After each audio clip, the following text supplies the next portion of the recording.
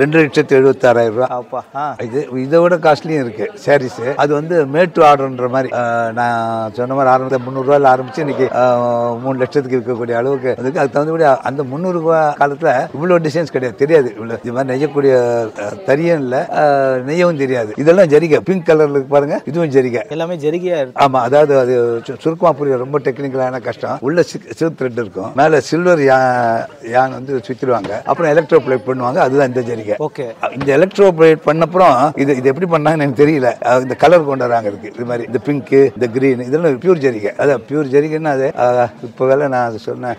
ஒரு கிலோ வந்து ஒரு லட்சத்து நாலாயிரம் ரூபா இருக்குது இந்த ஜரிகை இதில் யூஸ் பண்ணிக்க ஜரிகை ஒரு கிலோ ஜரிகை ஒரு லட்சத்து நாலாயிரம் ரூபா. சார் இது வந்து கிட்டத்தட்ட மூணு லட்சம் ரூபாயா இது கிட்ட மூணு லட்சம் ரூபாய் வெயிட் வந்து ஒன்னே கால் கிலோ அவ்வளவுதான். ஏன்னா அதுக்கு மேல கட்டுறது கஷ்டம். ஒன்னே கால் அதுக்காக தான் அதுக்காக உங்களுக்கு கொஞ்சம் புரியுற மாதிரி சொல்றேன்னா இந்த இந்த த்ரெட் இருக்கு பாருங்க. சாதாரண இதை விட இது தள்ளி தள்ளி வரும்.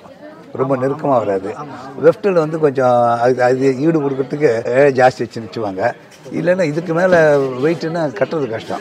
சாதாரண ஒரு சேலைன்றது ச- ஒரு சின்ன ஒரு ஆங்குலம் ஜரிகை இருக்குன்னு வச்சுங்க. அது நானூற்றி இருபது கிராம் வரும்.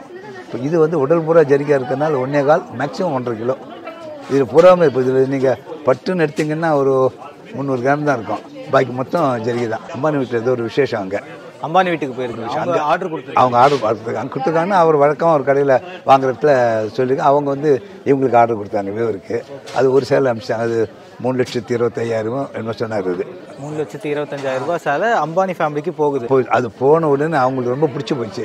அதே மாதிரி இன்னொரு ஒம்பது சேலை வேணும்னு சொல்லியிருக்காங்க. இந்த பிங்க் ஜெர்னி இப்போ தான் நான் எனக்கு தெரிஞ்சு ஒன் ஆர் டூ மந்த்ஸ் தான் இருக்கும். இவங்க அதை கண்டுபிடிச்சே.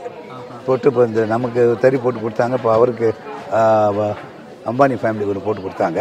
இப்போ ஏன் உங்களுக்கு உங்களுக்கே தெரியும். இந்த இடத்துல எல்லாம் பூரா ஜரிகை. அதாவது இது கலர் யானை கிடையாது.